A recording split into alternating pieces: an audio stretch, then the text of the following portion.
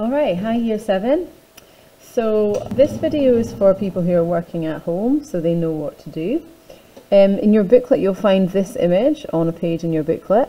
It's an image by an artist called Jim Dine and he's an artist that we're going to look at in art for a little while at the start of term. Um, and if you have any notes that you want to write about Jim Dine when we show you videos then feel free just to write them along the side of that page there. Um, and on the other side, you can see that we've got a grid, which is exactly the same size as the image that you're going to draw from. So the way that I'm going to start this drawing is just in this top right hand box here.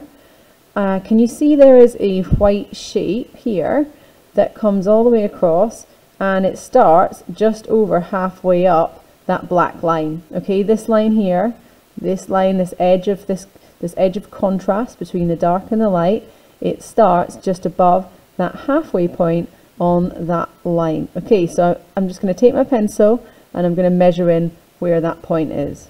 Okay, if you want, you can use the pencil measuring technique just to double check that that point is at the right height on, on your line. And I'm happy that mine is. So the next thing I'm going to do is mark out where the top of the tool is going to come to. It's going to come to there. It, and what I'm looking at there is this negative space here in between this part of the tool and the, the middle line. So I'm looking at that and I'm just trying to get that space nice and accurate. Okay, I'm then going to also put this dot in here, um, but I'll give you some time to do those ones and then I will show you the next step. Alright, so the next step is this dot here. So it's just going to come that far up the line. You can do it by eye, or if you, you feel like measuring it with your pencil, you can measure with your pencil. So just double check that it's that far from the middle, this middle line. So I'm measuring it now from this horizontal line. So it's that far up the line, it's the other side of the white section of the tool, and perhaps just a tiny bit higher actually than I've done it. So again, if you make a mistake with this measuring, you just carefully rub it out and then just pop in the real line. Alright then, so it's going to come all the way over to the side here. The widest part of the tool is going to be over here. So now I've got all of my parts marked in. I'll give you some time to mark those in. Again, if you want to measure them with your pencil like that, just to double check that you've done them right, you can do that now. Okay, the next step then is to sketch in roughly between those lines as the shapes, you see them, are in the drawing. Now I'm going to sketch but I'm going to hold my pencil about halfway down nice and loosely and I'm going to use this part of my hand to be able to steady my hand um, and so that I'm, I'm able to control my pencil a little bit better.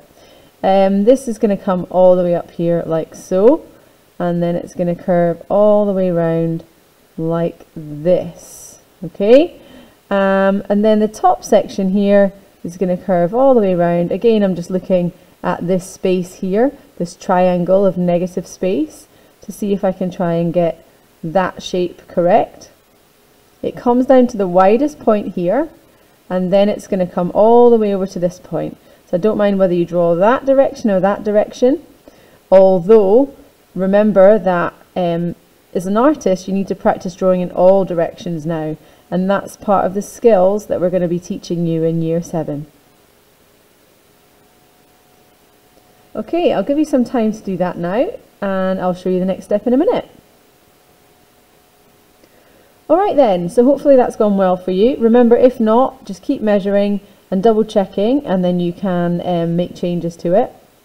The next step I'm going to do is to draw this section here, this part of the tool and I'm going to measure it from the middle line, the tall middle line, the, the central middle line, over to the edge of that tool is that far. So I can just measure using the pencil measuring technique over to there. And then this section here from the middle to the inside of the tool is actually quite small. So it's just like that. And if you look at this little corner of space. That's what we're going to look at when we start drawing the shapes with that tool in. So I'll just give you a bit of time to measure those two points um, and then I'll show you the next step. Alright, so now that you've done that, you can then take this up to this point here, remembering that we want a nice gentle curve, okay, all the way down. And then on the other side, we're going to come all the way over there like that and then it comes down to there. Now can you see that there is a little bit of the handle which pops up into that box there. So actually part of it is a tiny bit wider and comes all the way down there like this. Okay, so you can have a go at doing that section and then I'll show you the next step. Alright then, so hopefully you've been successful in that. Remember that if not, don't worry, you just need to use your rubber and make changes. The next step then is to get this circle put in. And I'm going to put the circle in and it's going to be that far from the line. So the centre of the circle is that far from the line. Um, what I'll do is I'll just measure where the centre comes to. It comes to roughly there just a little bit left of that centre line and I'm just going to pop a little dot in very carefully to show the centre of that circle. And to be able to draw the outsides of the circle, I'll just use my light drawing technique and I'll show you in a second. Okay then, so the next step is to do the outline of the circle. Again, I'm holding my pencil nice and lightly, um, very loosely, and then I'm just going to sketch. Can you see it goes into that part of the of the of the box there. It does go in there and then it comes around there like this. And that is my careful circle okay? Nice and light. Have a go at doing that one then.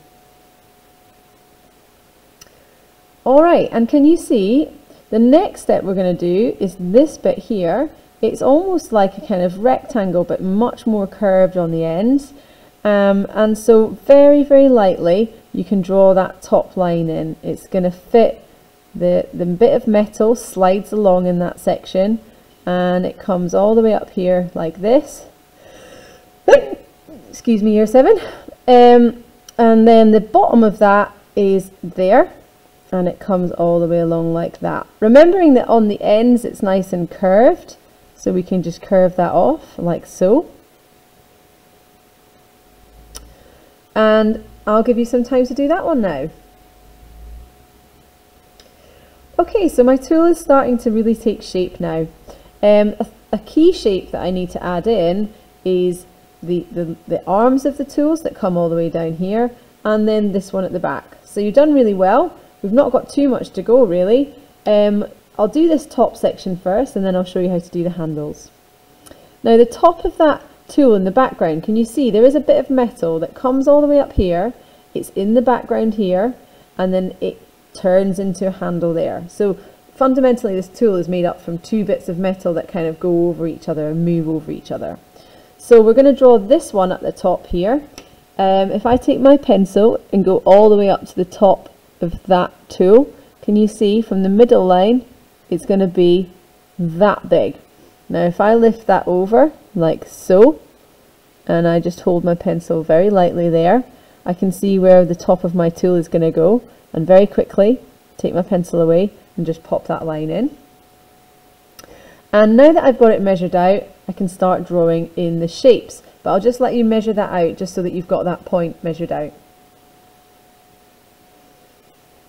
Okay then so the next step is that we are going to really lightly sketch in that line which is going to mark that triangle out for us. So that comes all the way down there like so. And then that comes into that box, that comes down there. You can see that that line actually extends here as well. Um, on the other side of that line, it's a bit curved. It's a bit difficult to see because there's quite a lot of tone on there at the moment but then I think it's got a bit of a wobble and it gets a little bit thicker so that it can attach onto this shape here.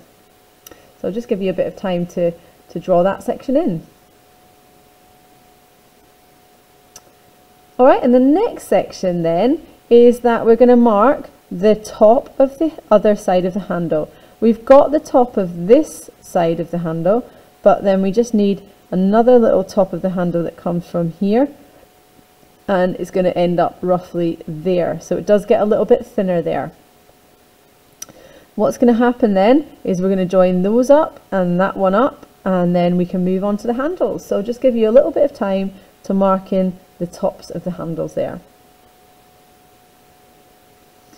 Alright, and remember double check the sizes. If you need to remeasure it using your pencil, you can do so now. I think mine would actually need to be a bit thinner. If I just measure it a little bit better there, it's going to be a tiny bit thinner. So the next step then is to take the shapes down like that and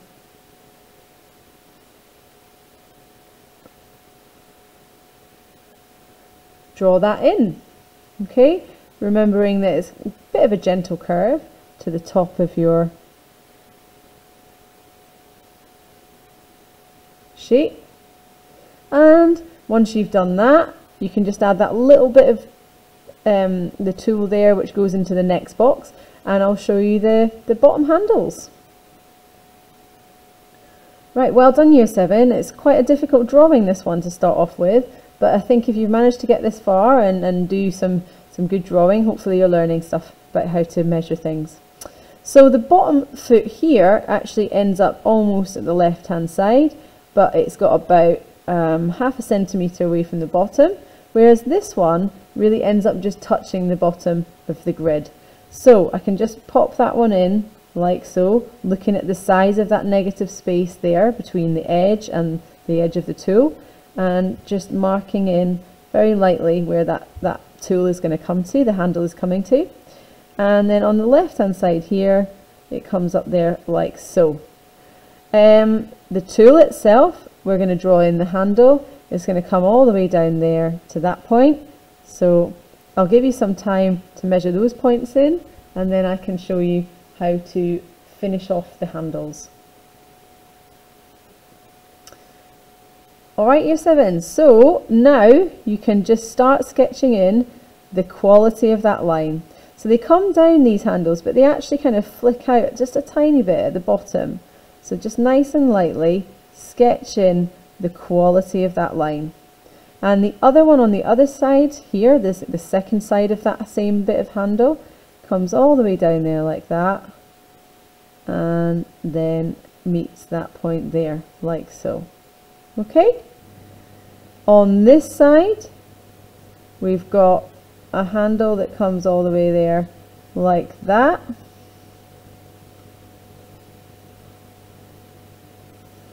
and another handle on the side here that comes all the way over there like that. Alright then, so give that one a go and see if you can try and get some um, some of those lines drawn in. Um, and once you've done that, you'll be finished your drawing, apart from the tone, which I will show you how to add next week. So, well done, have a good time with your drawing and I hope that's been useful for you.